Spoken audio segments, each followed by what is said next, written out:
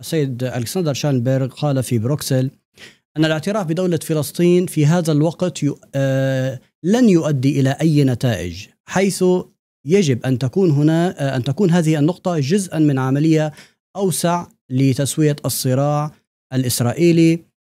وقال يعني آه، آه، آه، الإجماع الآن هو على أن الاتفاق لن يأتي بأي نتيجة ولا أرى أي عملية سياسية تجري بعد. برأيك لماذا النمسا اليوم لا ترى أي قيمة للاعتراف بالدولة الفلسطينية؟ أولا أعتقد لأنه الحكومة النمساوية الحالية هي حكومة يعني تبنت وتتبنى إلى حد بعيد الموقف الإسرائيلي. آه، مع الأسف الشديد أقول هذا أنها تتبنى الرواية الإسرائيلية. السيد شالنبرغ وزير الخارجية آه، ينسى أن نتنياهو قال بصراحة ووضوح تام أنه يرفض حل الدولتين. وبالتالي لا يوجد لدينا شريك. ولكن سارنبرغ يقول نحن نرى الحل على شكل حل الدولتين. صحيح لكن آه، حل الدولتين حسب يعني رؤية شالنبرغ أنه يريد أن يكون نتاج لعملية سياسية تفاوضية. آه، حتى تكون هناك عملية سياسية تفاوضية نريد أن الطرف الآخر يؤمن بحل الدولتين. ومن ثم نجلس على طاولة ونتفاوض كيف نصل إلى هذا الحل. نحن لن نجلس مع إسرائيل. لكي نتفاوض هل لدينا الحق في دولة أم لا. نحن سنجلس ونتفاوض مع إسرائيل إذا كان فيه هناك حكومة إسرائيلية أولا توافق على مبدأ حل الدولتين وثانيا هذه الحكومة مستعدة أن تتفاوض معنا كيف نصل إلى هناك إلى بسط السيادة الفلسطينية على الأراضي الفلسطينية المحتلة.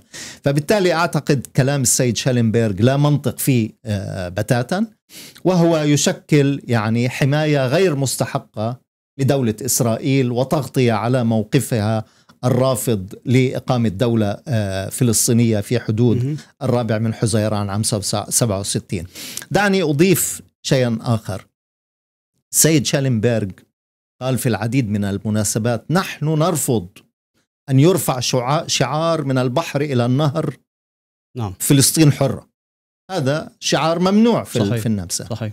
ما ما يتناساه السيد شالنبرغ والسلطات النمساوية بأجمعها أن برنامج حزب الليكود الحزب الحاكم في إسرائيل أيضا يقول من البحر إلى النهر دولة إسرائيل بالكامل. يتجاهل أو يتناسى أن بنيامين نتنياهو وقف أمام الجمعية العامة للأمم المتحدة في سبتمبر الماضي رافعا لخريطة الشرق الأوسط لا توجد فيها لا دولة فلسطين ولا حتى مناطق فلسطينية محتلة.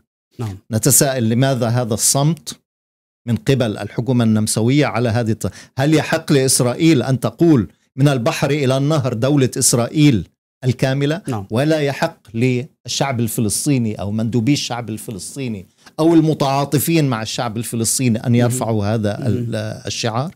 يعني هناك عدم يعني منطقية. في نعم. الموقف النمساوي ولكن يعني استوقافا على هذه النقطة سعادة السفير ألا ترى أن موقف النمسا مبرر لربما باعتبار أن هذا الشعار يطلق على أراضيها وتراه يعني أو تقيمه على أنه من الشعارات المعادية للسامية في المقابل كما تفضلت أن من, من آه، حزب الليكود الذي أعلن إضافة لم يعلنها في النمسا وبالتالي يعني ليست هي شعار مظاهرات وبالمحصلة هي كلها شعارات فألا هنا يوجد نوع من الخلط؟ لا أولا أنا أعتقد أن دولة يعني تقول عن نفسها بأنها دولة ديمقراطية وتتبنى يعني مبدأ حرية الرأي.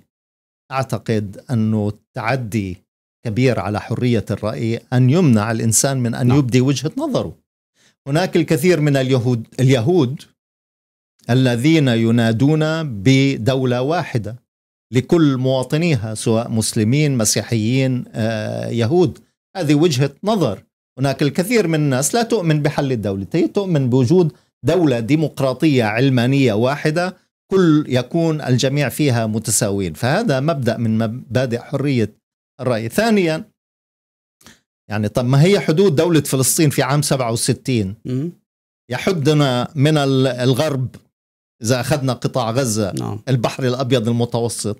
ويحدنا من الشرق نهر الأردن. إذا نستطيع أن نقول أيضا دولتنا اللي هي على حدود 67 هي محاطة من البحر إلى النهر. يوجد محامية تقريبا تظاهرت قبل أسبوع وتعرضت لإساءة ما من السلطات من سلطات الشرطة وقالت أن حتى شعار من النهر والبحر آه، يقال ولكن ضمن سياق معين. يعني أعتقد في إشارة لما تفضلت به. هي يعني أشارت إلى قرار المحكمة الإدارية بفيينا بالمناسبة التي قالت أنه لا مش ممنوع رفع هذا الشعار. الشعار من حيث المبدأ مسموح لكن هو ما هو الإطار التي يتم في طرح هذا نعم. الشعار نعم نعم هي السيدة أستريد فاغنر أستريد فاغنر بالضبط أستريد نعم. فاغنر